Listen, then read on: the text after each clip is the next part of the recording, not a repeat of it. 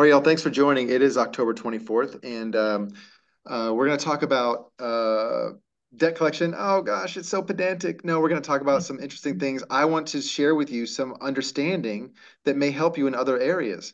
Um, but uh, so I have a lot of material on aceofcoins.club. I have uh, segments, video segments, and series on different subjects, and one of the subjects is consumer debt. I forget what the title is, but you'll uh, you'll see it uh, when you go log in there and check it out. Um, and now I'm going to add some new content, and I'm going to I'm going to talk about it. I think officially for the first time tonight. I haven't brought this up before, but I just I need to bring it up because you need to have this little bit of knowledge and understand what kind of um, exposure these lawyers have that are involved in debt collection. So I'm talking about unsecured debt collections, and I find that when I'm talking to people about this, they are fumbling through papers and they don't even know what they don't even know who they're dealing with. I, I, my first basic question is when they call me on the phone, I just got served. My funds got levied by them. And I say, who's them? You know, and they can't even tell me the name of the plaintiff. They don't even know who the plaintiff is. And I'm like, right. you gotta, you gotta know that part of the game. Come on. You know, if you're playing football, you gotta know which which direction you're supposed to be running. you let's start there, you know. So so the people I'm talking with this week, it just seems like they kind of come in waves, right? So this week there's debt collections and debt collectors are not the creditor. The creditor typically is going to be your brand name, understood, recognized like Citibank, mm-hmm. Bank of America, right? American Express. Mm-hmm. Some person that lent you money. Okay. That's mm-hmm. a debt collector is somebody who did not lend you money, who's claiming that you owe him the money by some thing like maybe he's the assignee of the debt. Maybe he's the purchaser of the debt, right? and I can tell you since the early 90s when I started doing this work, in literally like 30, 40,000 cases, mm-hmm. I have never seen an, an actual correct assignment agreement of a debt from a creditor to a debt collector. And I look at it very carefully. So let me just share with you how I how I look at this. Wow, that's interesting. Mm-hmm. Ah, so they can say all kinds of stuff, right? But it's important what's in the allegations and what's in the exhibits and what they can prove. And I just tear them apart every time. And I'm going to show you how to tear them apart, how to analyze the pleading, and then how to mop the floor with them and make them pay you money. Okay. Make them beg you to accept the money. I'm not exaggerating. So you get sued by Midland, right? Mm-hmm. Yeah. That's which I debt collector. now, this is an important distinction to make. The bank, the creditor, Citibank, is not a debt collector, is not liable under the Fair Debt Collection Practices Act. The Fair Debt Collection Practices Act, Title 15, United States Code, Section 1692. Check it out. Yeah. All right, now when I first read that, I was like, eh, "That's why they sell it. That's why they sell it." Okay, well, we're gonna get to that. All right, because they're they're gonna get paid five times on the debt amount. Okay. They're making five times their money. Yes. It's insured. It's written off. They get to collect twice. Okay. So the, there's a there's a debt collector that's liable under the Fair Debt Collection Practices Act, and the really nice thing is the lawyer, the individual lawyer, the attorney who mm-hmm. represents the debt collector, is a debt collector under the law. So if Citibank is suing, it's not the debt collector, but the lawyer is. Not only is the lawyer the debt collector, but the idiots always put in the name of their law firm. So that brings that law firm into the same liability as a separate debt collector. Now, wow. you're thinking, okay, John, so so what? Look, the more debt collectors we have in a debt collection, the more money you can make. So mm-hmm. for every FDCPA claim you can make, Fair Debt Collection Practices Act claim you can make under that act, against a debt collector. So for example, Midland sues you. You think, well, why, why would I sue Midland? How could I, what kind of claim could I make against Midland? Well, let me give you one example. Midland sues me and I go ahead and answer the complaint, but let's not talk about that. I instead, I sue them in the, in the federal court. And I sue them because they're involved in an unfair and deceptive collection practice. What? Why is that unfair and deceptive? Well, because Midland is not the assignee and is not the uh, purchaser of the debt. It just got my name off the internet.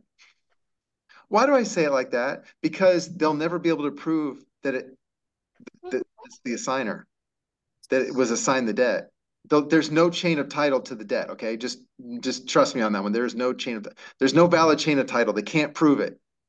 So for all we know, they use modern data collection at Intelius.com and got my name and an address or something from a mailing list and then decided to make a claim on me. But here's the other thing, and, and I'm kind of going ahead of myself here, but let me just do that. So you have the debt collector and the other debt collector. You have Midland and his attorney. Sometimes there's 2 uh -huh. attorneys. You have the law firm. So the fine, the penalty for violating the FDCPA is a thousand dollars. You can only get a thousand dollars. If they have 15 violations per person, you only get a thousand dollars.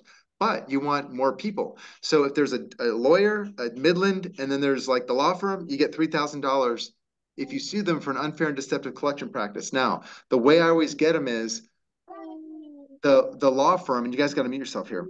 The law firm,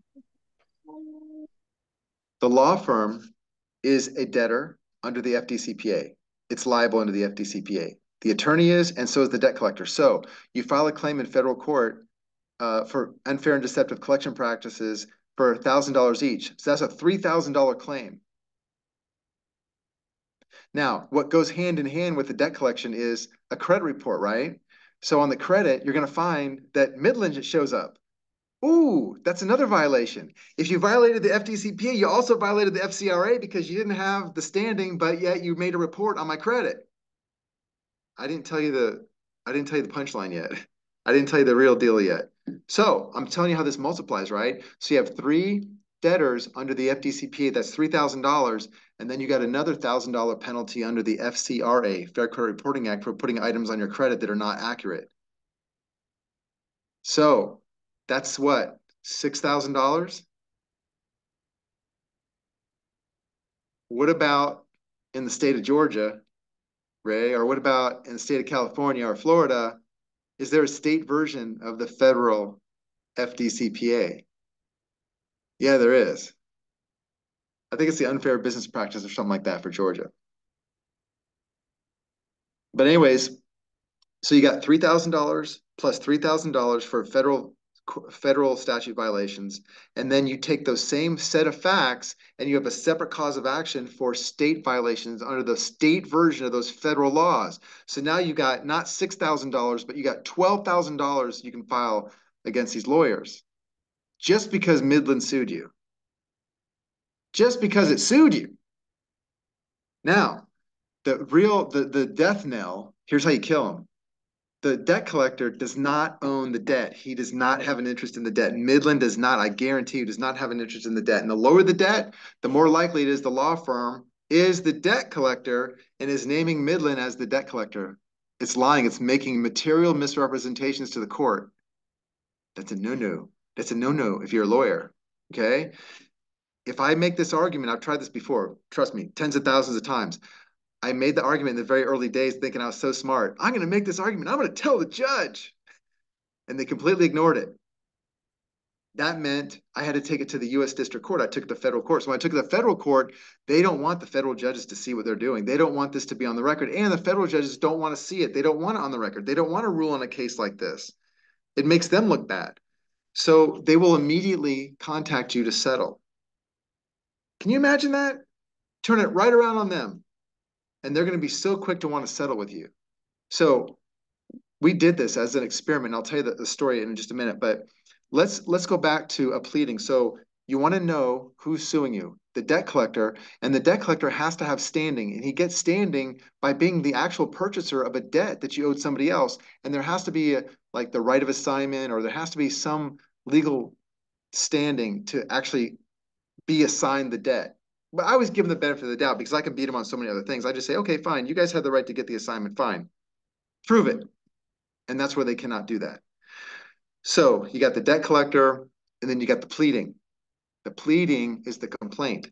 So this is what this applies everywhere. So when I'm talking like I'm talking to somebody on like a child custody case like today, and I'm asking, uh, uh, what what does the pleading say? What was the what was the request to the court regarding we're at child custody now, but was this a petition for child custody? Was this a petition for dissolution of marriage? You know, declaration, or whatever. So you start at the beginning. What are the allegations? What was the, what is the pleading? What was the complaint that was filed? What was asked of the court? You start there. So if I look at a, a, a, case like Midland, for example, Midland doesn't even have good records. Most banks don't have good records these days. So what they'll do is they, they'll just have a bill, they, a copy of a bill they sent you, okay? Or they'll have a copy of a credit application or an example of a credit card agreement where you didn't even sign it. There's no in, indication that you even read it ever. So they don't have records to establish the debt. So here's what they've done.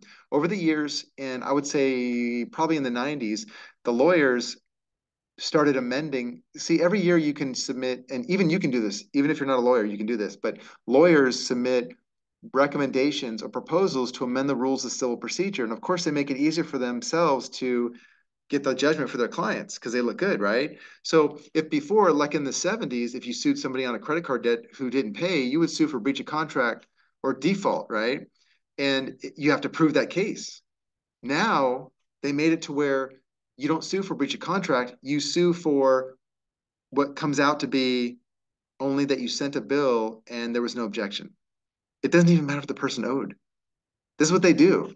So what they did is they had a new set of pleadings that allow the attorneys to file a suit called stated account or open account. So it's a very low burden of proof. It's probably lower than a traffic ticket. I mean, really, they got themselves a really good system.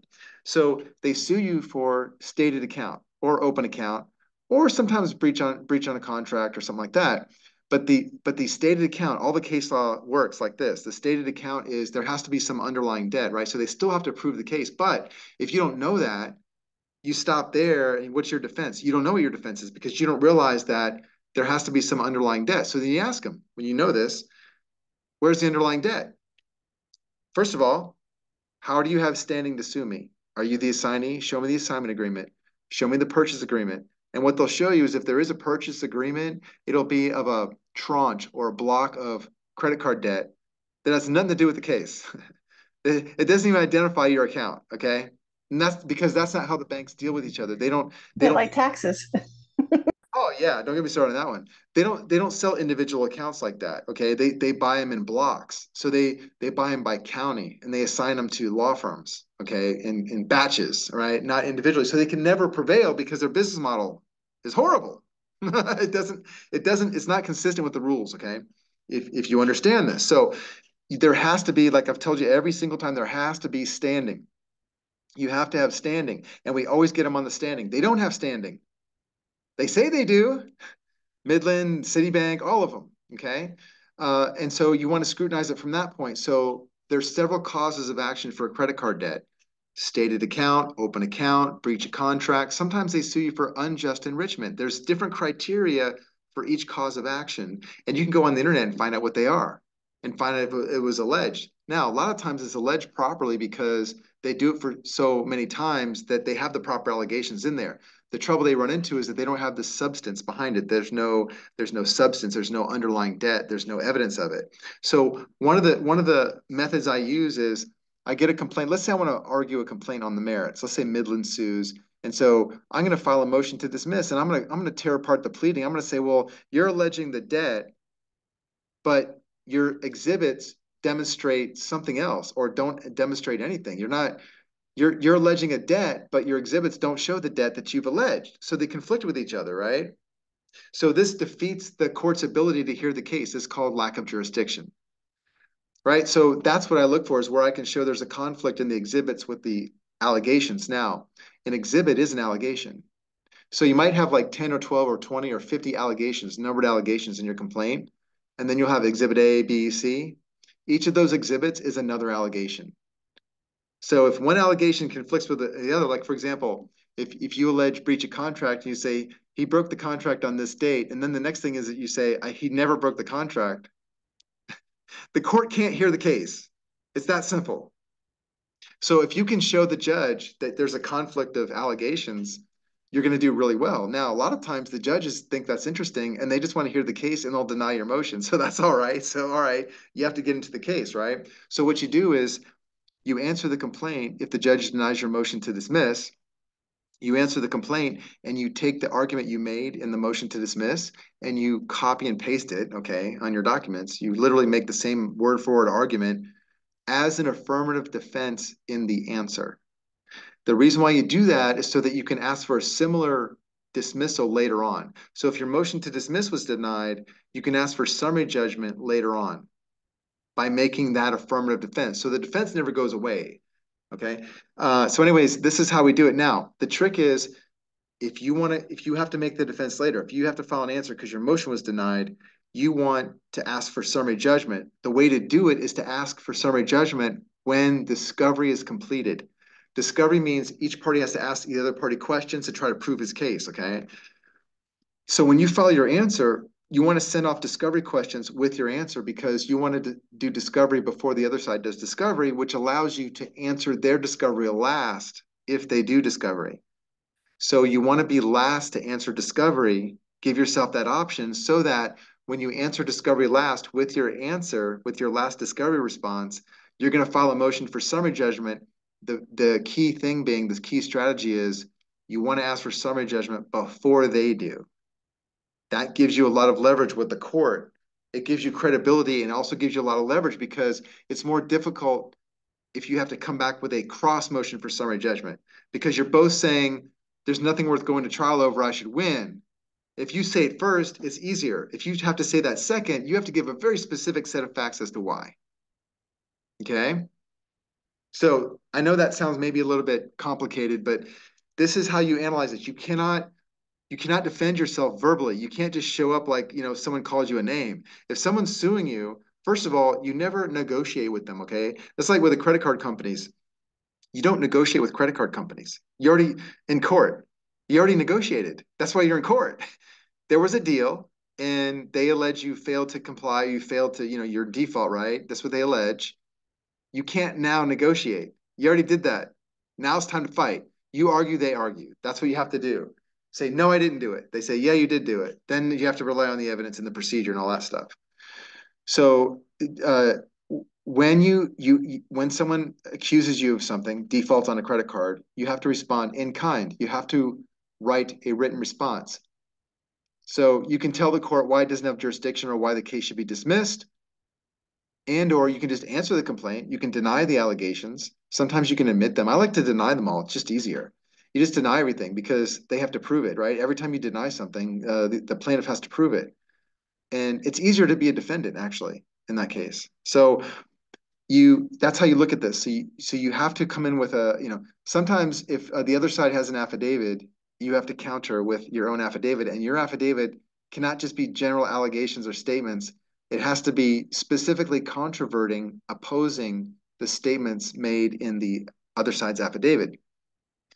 So one of the tricks I use, and I'm just going to go back into this this case that's going in court, right? So the debt collector's in there, and your motion to dismiss was denied, and you get into discovery because you filed your answer, right? So your discovery is this: you ask questions, you ask them to admit certain things, and you ask for the production of documents. Those are the most common things you want to do in discovery.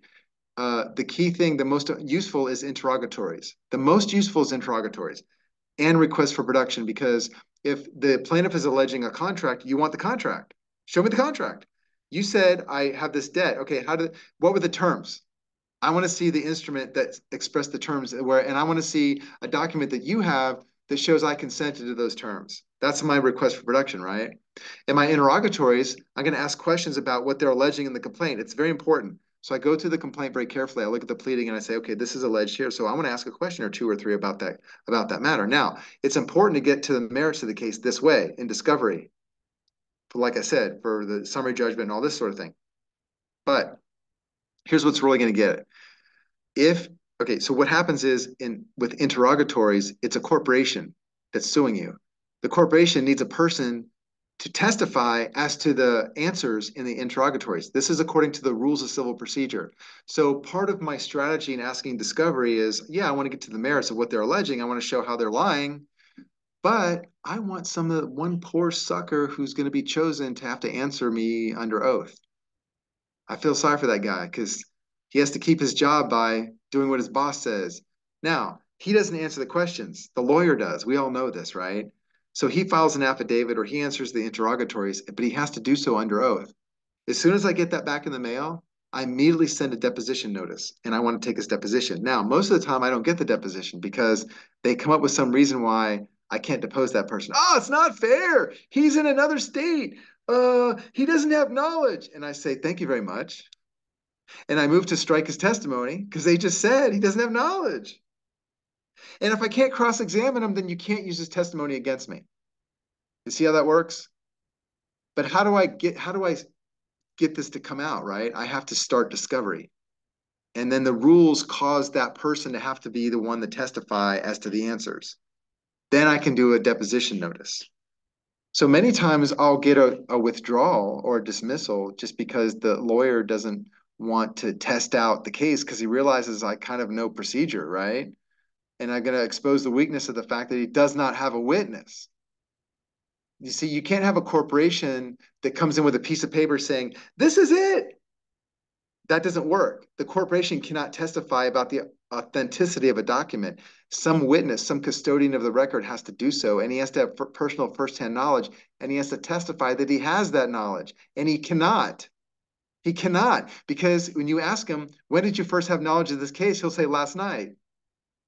And then you say, when was the case filed? Three months ago. So how does your affidavit have any merit? By the way, did you write the affidavit? No, I my boss told me I have to sign it. you see? So don't be afraid of these situations and know that there's uh, ex, they're exposed to huge weakness if you just you know follow some procedure and get yourself a copy of the rules of civil procedure. Now I'm not saying it's a good use of your time to fight debt collectors. Maybe it is. You know, I learned because I wanted to help others and and I made money at it, okay? I don't like to make money at that. I would rather you know, you guys choose how you want to do it. And you can do this yourself. You know, I want to have more content on this stuff. But let me just tell you, so you have a case going on in court and you're doing all these things and you really want to end it. And who cares if you make $5,000 out of it? Okay, fine. Maybe you're happy with, maybe you have bragging rights. Okay. So you would, you would need a pleading that can be filed in the U.S. District Court. Okay. Thanks, Moko. Um, so you have a pleading that can be filed in U.S. District Court. You need a pleading that expresses a cause of action for unfair and deceptive collection practices under the Fair Debt Collection Practices Act. Okay, that's where you would start. Because I know you're probably thinking, gosh, John says all this stuff so fast. How would I even know how to do that? Well, it's called having a pleading that expresses a cause of action under the Fair Debt Collection Practices Act for unfair and deceptive collection practices. You can find an example of that all over the place. The FTC frequently sues debt collectors for groups of people. You can find those pleadings on the internet for free. Okay, you can use AI to write them for you. So, um, Moko, what do you got for questions? Just unmute. Sorry, talking in silence. Okay, well, you know, a number of people are actually asking in the beginning if you could just talk a little bit about um, LLCs being single member versus multi-member and the protection. Okay. And then some people are just asking kind of questions that are easy to answer about like what's a deposition, what are interrogatories, like define terms. Okay, let me I'm define some terms. define. Okay. All right, so I'm going to define some terms and I'll explain about, I'm going to say charging order protection and Mhm. removing property from your estate. So, Okay. And also discuss the difference between interrogatories and a deposition, please. okay, uh, interrogatories are questions. That's Mhm. it. Uh, a deposition is where you ask questions. How about that? in person. In person, in When you person, speak. but in both situations, they have yes. In, interrogatories and depositions are about questions under oath, so the answer should be uh, given under oath. Mhm. It's very important. These are very good strategies to get the, to the truth. Uh, it's a very good system, actually. It's just being abused, okay, right now. It's being abused because many people don't understand it. That's why I do this work because I want people to understand this. If you go to a lawyer, he's just gonna he's gonna cheat you, you in so many ways. Um, by the way, let me just make this one comment. So, if you have lots of debt, more debt is better. I've had so many clients come to me after I work with them and they'll say, gosh, you know, I really wish I had way more debt when I came to you because it, it, I, I just really came out ahead here, you know? if you have lots of credit card debt and it, it doesn't make sense to pay anymore, realize that they're not going to be hurting, okay? If you borrow money from grandma, please pay her back. But the bankers actually make money if you don't pay them. So just know that part. But if you just let them sue you, you can make yourself uncollectible for like uh, bank accounts. That's pretty easy to do, which I'm going to explain in just a minute. But if, if you just let them sue you and garnish your wages, you got California that lets it you gar lets them garnish 25% of your take home pay. New York is 10%. Pennsylvania, they don't let you garnish anything. South South Carolina, North Carolina cannot garnish wages. Texas cannot garnish wages. So those four states cannot garnish wages. New York's 10%, California's 25. You never ask for exemptions. Here's what happens. You let them garnish your wages and just suffer through that, but it'll block everybody else. So if you have $5 million in debt, you're going to pay the same, the same exact amount of money if you get a wage levy as the guy who has $5,000 in debt. Because the, the debt's based on your, the, the law limits the collection to your ability to pay. It's, it creates a, it creates a, um, uh, let's say a, a limitation on how many creditors, judgment creditors can garnish your paycheck. So if you just let the first one do it without any exemptions, don't ask for exemptions, just let them garnish it, it'll block everybody else. And chances are those debts will expire by the time the first or second one are finished.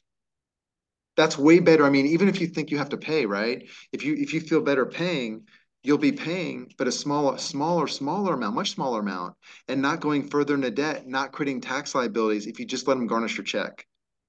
So that comes out of the Consumer Credit Protection Act. And by the way, much of this legislation was was pushed in the 70s by Ralph Nader. I don't know if you're aware of this, but Ralph mm. Nader pushed in the consumer protection laws specifically in Title 15, Section 1601. And what we're talking about today is 1692. There's 1691 and all these other sections, but he was responsible for getting all that on the books. And it did get kind of whittled down a little bit, but if you know how to use it, you got quite a bit of leverage and power against these these lawyers. And really, you can mop the floor with them. I love I love to describe it that way. You should see how crazy they get. They they will just pay you. They they're they hate it that you can you can figure this out. So how do I take property? How do I have use property, money, cash, and and avoid a levy? Well, it can't be mine. That was the, the realization I came to in the 90s. How do I how do I protect property without by, by guaranteeing that I can protect it? How do I, how do I do without question? Well, don't have it. Well, that's not practical for people. You got to have stuff, right? Well, that doesn't mean you have to like have title to it. It just means you get to use it. So here's a hypothetical example. If I have $50,000 in the bank and I owe a bunch of uh, creditors and I don't do anything, the creditors can sue me and get a judgment lien, and then they can literally wipe out my entire account in, in one day. If they if the debt's that high, right? Fifty thousand dollars, right?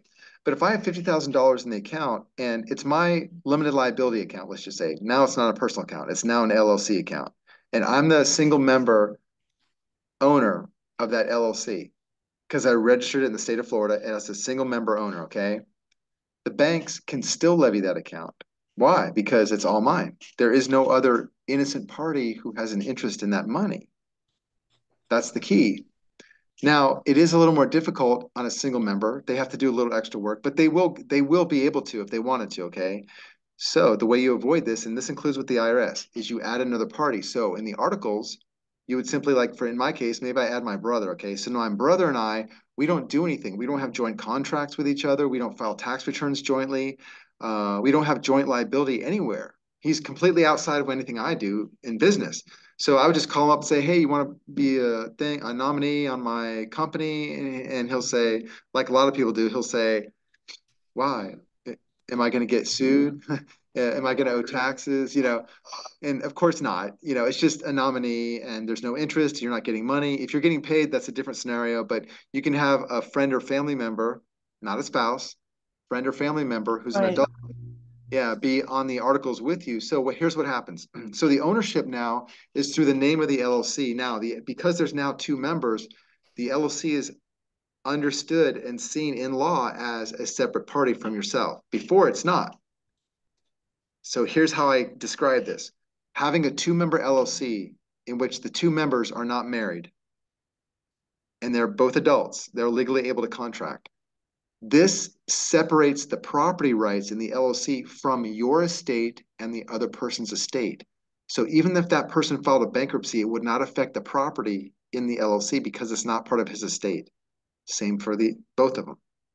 So I could have all kinds of debt craziness over here, and if he put all the money in there, it doesn't affect his money because it's his money. He's an innocent party, and this is what the statute recognizes. It's called charging order protection.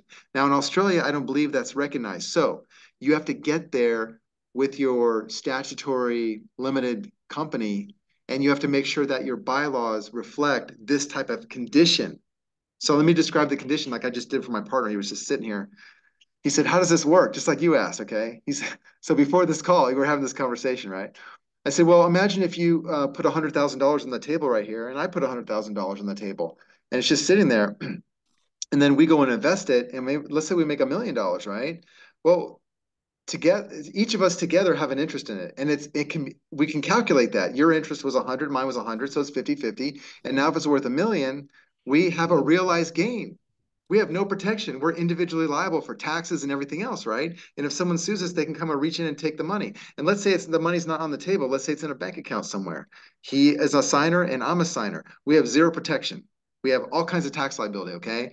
But if we hold the money in a corporate partnership or a limited liability company, a third party, in which we have an ownership interest, and then we, our arrangement is like this once we contribute the money, we can't take it out unless we vote on together, we make an agreement as to how and when the money can be taken out.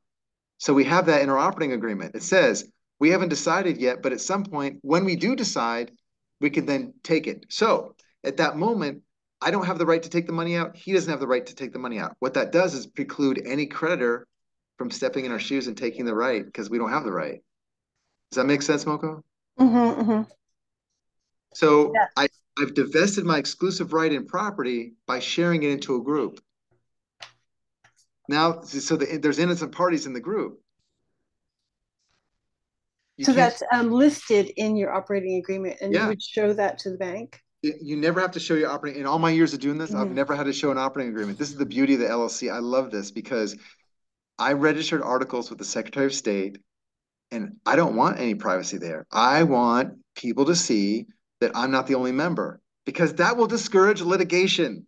That mm-hmm. will discourage it. If my property is titled into trust, some lawyer thinks he's a smart guy. He's going to subpoena my trust document, my declaration of trust, and all these. That he's going to try to pierce the trust, and it's possible he will.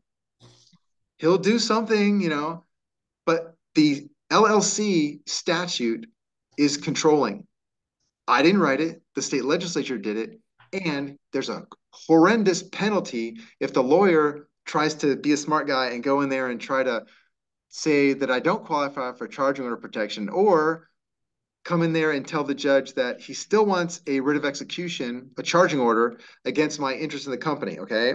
So if he does that, he gets a charging order. Be careful what you ask for. If you get that charging order and you don't collect any money or you only collect some of the money, your client is going to have to pay taxes on the amount of money that were not collected. What lawyer wants to do that to his client? Think about mm-hmm, this. Mm-hmm, mm-hmm. Huge penalty. I mean, it comes down to not, it's not just a penalty. It, it, it's a it's a it would change your career. Deterrent. you're a lawyer and, and you do this, it's actually negligent to actually undertake this effort when you're the debtor has charging order protection. You're better off doing a credit sweep, a bank sweep, and waiting, sitting on his credit file, sitting on the public records. You're much better off waiting than if you get a charging order. I don't think I I may have seen two charging orders in my entire career. 31. So then people are wondering why they should have a single member PMA. Okay, it's single useful. member LLC. It, it's very convenient and useful. Many people can't easily find another member. Okay, so I say, okay, use a single member. Now, if you come to me and you're in that situation, and you're you're facing a levy imminently, I'm not going to tell you to keep a single member. I'm going to tell you to have a two member LLC, mm-hmm. and I'm going to tell you the consequences of not doing that. Then it's up to you. So I'll do a single member LLC, and I want you to understand the difference in why we do one or the other. So if you ever need that situation, I've had clients come back and say, "Okay, I'm getting sued now," and I'll say, "Well, add your Uncle Bob," you know, and amend the articles, and you're then you're good. So here's a question. Someone's saying that in Hawaii, they require LLCs to pay GE taxes, I don't know what that is, on gross income, separate from Hawaii state taxes. Are you familiar with that? Who's require, like, like I told you before, they require. They, who's they? th- you're reading some comments on a website probably. There's no Right. law imposing a duty to testify against yourself. Right. So, It's what he was talking about earlier, Yeah, you don't file the return. It's very simple. You don't file the return. That's it. It's very simple.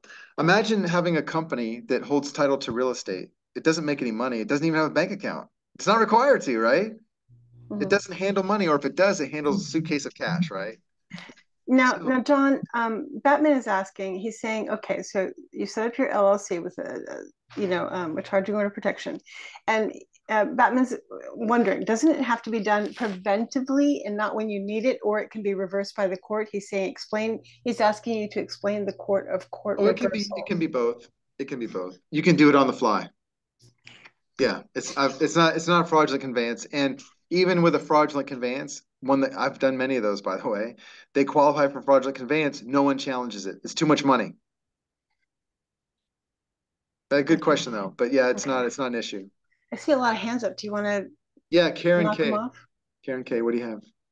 Hey, John. Um, so have you dealt with Citibank? And I know they use more Moore Law associates as a debt collector, but I don't I haven't figured out what their relationship is because Moore Law seems to um, be able to go back to Citibank on the original account. I had a friend that was getting sued by Citibank and um, she couldn't use the typical third-party debt collector strategies against Moore Law because they they had some unique relationship with Citibank. Well, first of all, Moore Law doesn't represent Citibank. There is a single attorney representing Citibank, but Moore Law is the debt collector.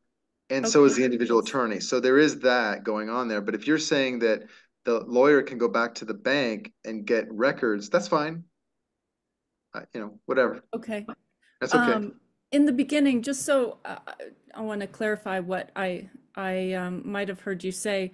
So, if you would get sued by Citibank or another big creditor directly, did you say that the lawyer suing you would be considered the debt collector and you could use some of the strategies that you just talked about? Yes, that's correct. The Okay. individual attorney is a debt collector, and so is the law firm that he works for. Okay. Wow. Okay. And the law firm, by the way, cannot represent a plaintiff.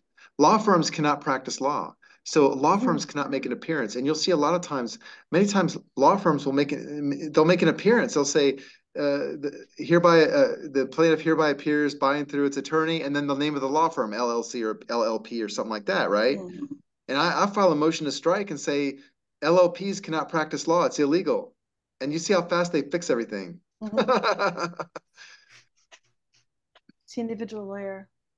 Yeah, the lawyers individually can uh, have standing uh, the uh, to practice law is how they do it. So, Yeah.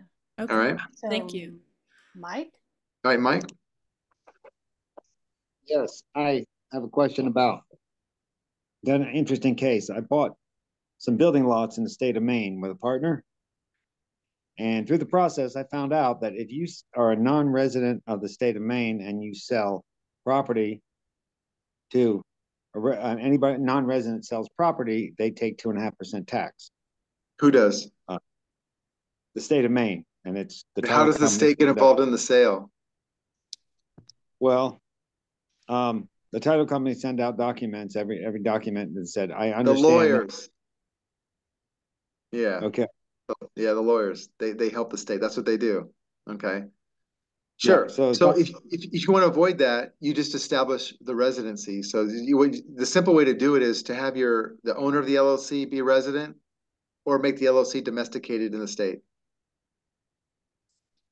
Pretty easy to do. okay, well, can, I, I think you can sell it into, you know, you, um, I could probably sell it, could, could I just start an LLC in the state of Maine? Yeah, just, just I- file one there, yeah. Okay, Or make the owner a resident. You can do it that way, Well, or both owners. Yeah, so my partner is, is, is the, uh, is a resident, so could I make him the member and me just the authorized signatory? Yeah, I think, and, and you'd have to get some, uh, instruction, but I think one of you being a resident, even though the LLC is the party, the owner of the LLC being a resident, it should be enough to avoid that two and a half percent.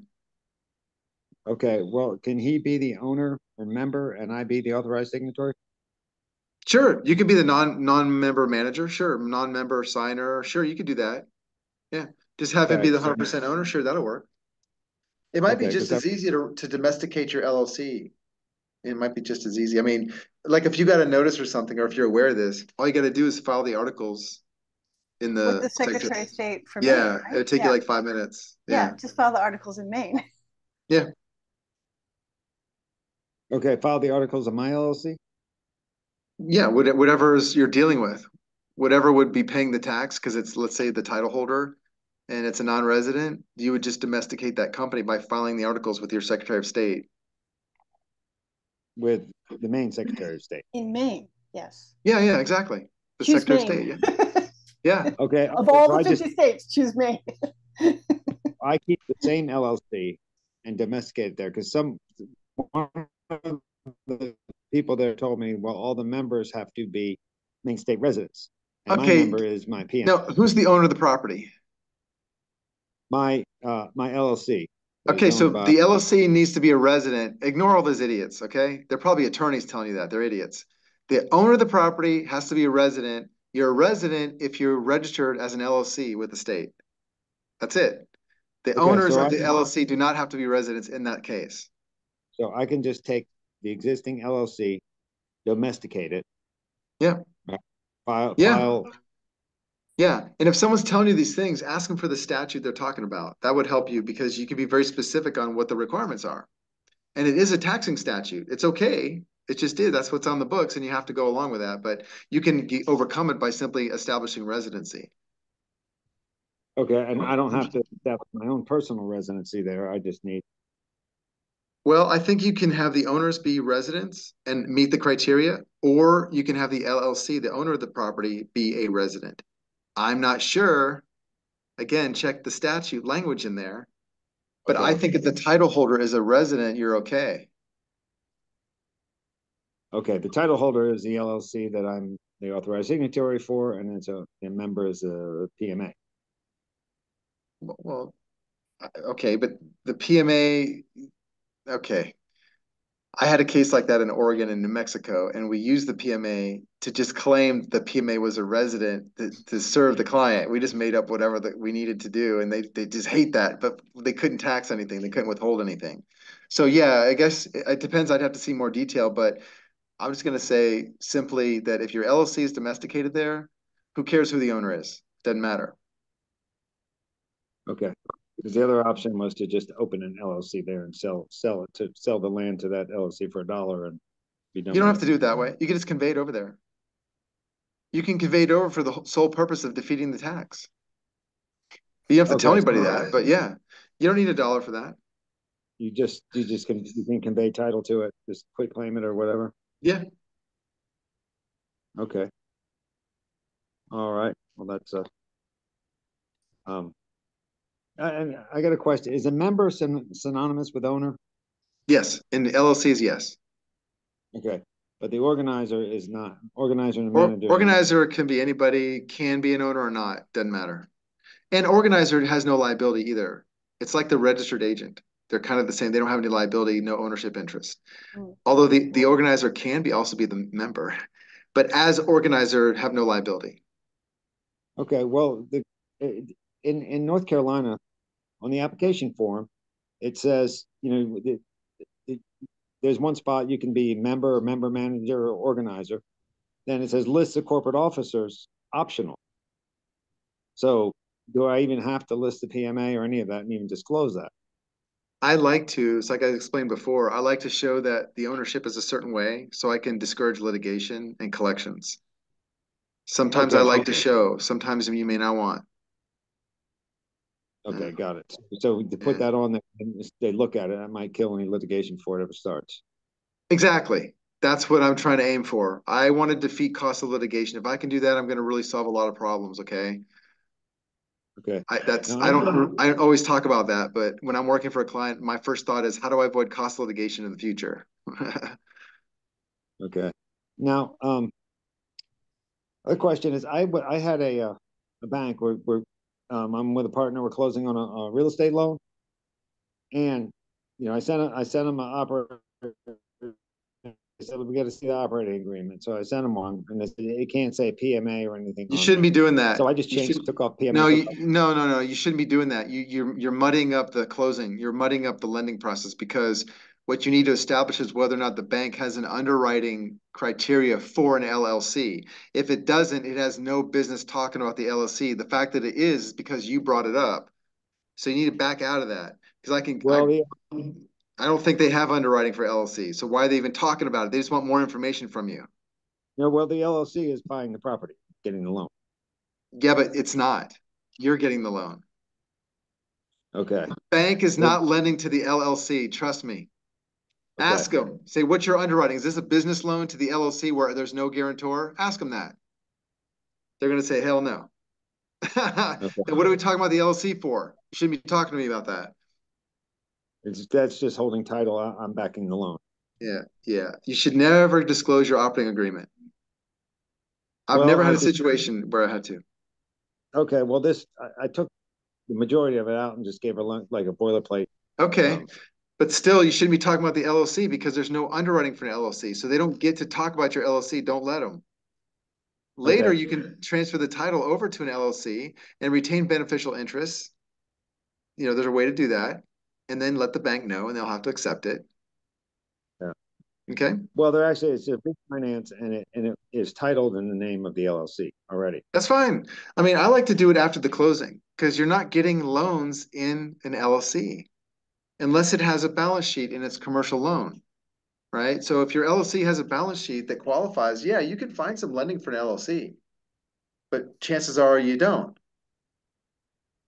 Okay. All right, so I need to challenge that in the future, just say, Just Well, back you out of all, say, look, give my records back. Those were erroneous anyways. Give them back. We're not, you're not underwriting for an LLC. Why are you asking for these documents?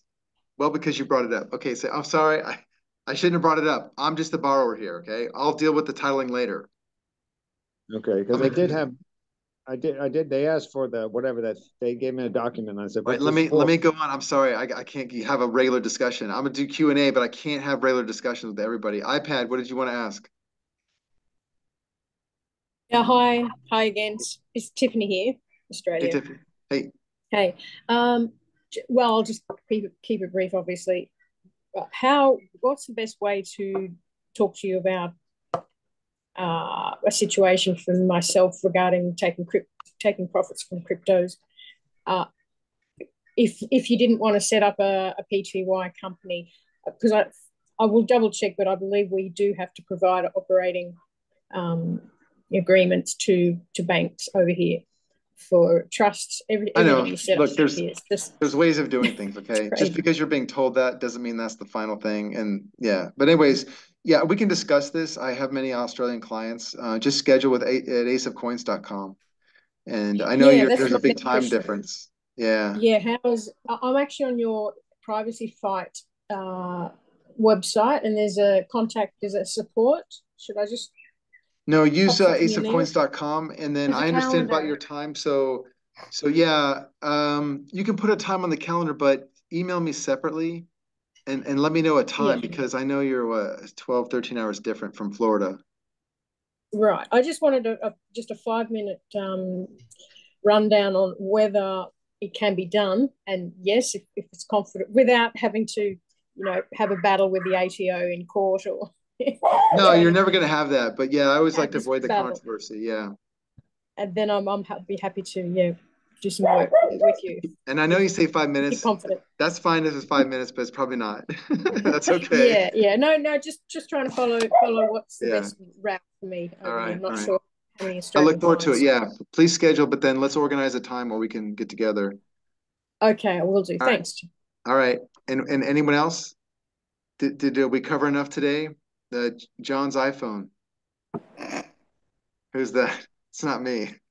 That's that. Yeah, this is John Gibson. Howdy. Hey, John. Uh, yeah, it's been a while since I've talked to you. We've uh, since moved down to Texas recently, Ah, and uh, we're currently renting until we uh, can buy a home. But um, or, you know, until we find what we want and and so forth. But um, I'm just wondering about property taxes. The property taxes down here are just incredible. Are there things, if I get with you, that we can do ahead of Yeah. time? I, I don't like to get into that situation. If you're in that situation, you know, there, you're into it for a battle on wresting control of the property using an easement, right? Uh, there, Okay. there- I believe you can get them to back off on the property tax, but your life is easier if you just offset the property tax with an asset. I know you probably don't want to hear it that way, but I'm, I'm trying this out myself before I start saying, hey, guys, let's do that. And uh, I'm working with some people that are in a situation where we only have limited options and we're trying to use the easements. So that'll just be a little bit more time, Mhm. right? So I would just recommend, I know it's a lot of money on the property taxes, just try to offset the liability with some, something that produces cash flow. That's my best Okay. recommendation and make your life easier. Okay. All right. Well, I might uh, go ahead and engage you again sometime. Yeah, I look And, forward to uh, it. Yeah. Okay, thank you. Alrighty. Thanks so much. All right, I'm gonna end for tonight unless you guys want to have anything. Something, I hope I didn't talk too fast. I know I, I like to cover a lot of things, but uh, uh, that's a general idea. Don't be afraid of things, but be specific. Know who you're dealing with. Don't refer to an attorney as they. It's some person, right? Uh, and there's a debt collector or there's a creditor suing you, right? So be specific. Um, just one last note. I've got a one. Uh, it's a, turning into a child custody divorce type of case, and the wife wants to make a hard time and, and make all kinds of false allegations for the husband, and she uh, accused him of uh, abuse and, and neglect. And then in her affidavit to get a restraining order, there's no statement reflecting abuse or neglect. She just didn't like something, you know, or he used profanity. Oh, so she said, but whatever. So, you know, what do you do in that situation? So this is an example. I'm hopefully you're not in that situation like with a divorce thing like this, but here's what we do in that situation. So there are allegations made to get the judge to issue a restraining order.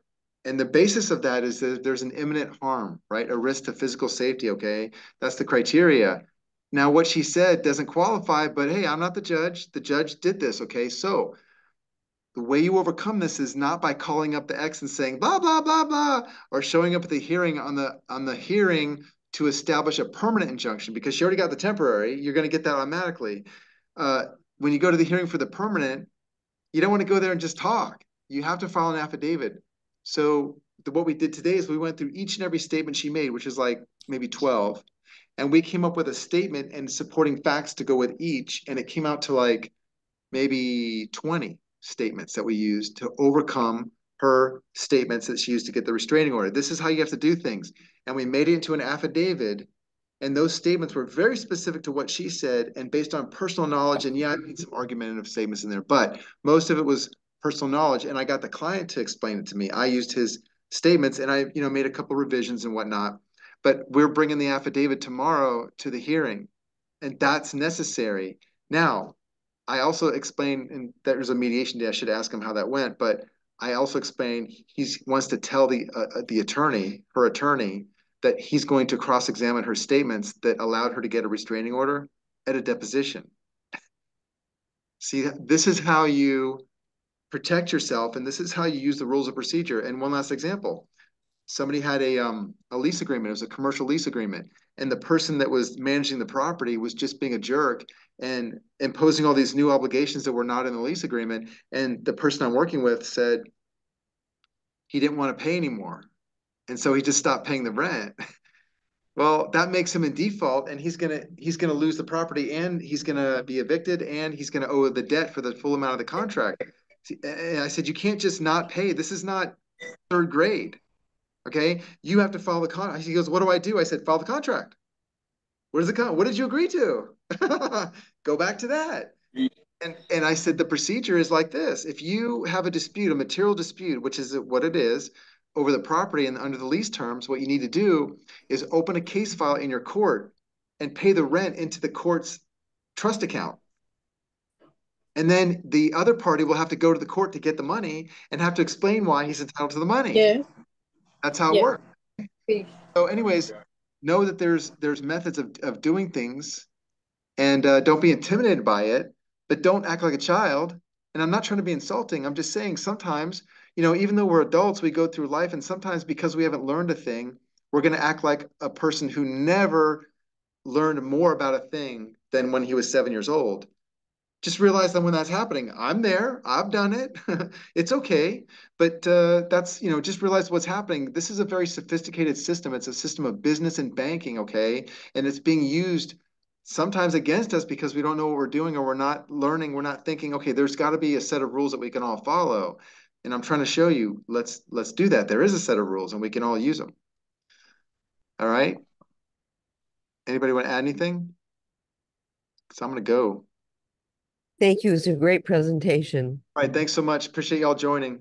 Hey, uh, You quick, gonna- you you take, put- uh, you take crypto payments, don't you, on, uh, ASIC? On coins? occasion, if if Jim's if Jim's willing, Jim is my uh conversion guy. Okay, Yeah, we can work that out though. And you're awesome, gonna, thank you. You're gonna put this, um, you're gonna put this on, uh, privacy Yeah, site it's it's recorded and I will send you guys a link. And if I haven't for the last one, I will do that also. Yes, that's Thank you. Yeah, John. Yes. Yeah, we asked the, when we went to court, we asked the Let me let me talk to you guys later. I'm definitely gonna talk to you guys later because I'm gonna I'm gonna Alright, you guys alright. gonna help me make some new content. Okay, All righty. Hey, hey, Okay. John, Thank you. Good night, y'all. Nice weekend. you still You there? too. John?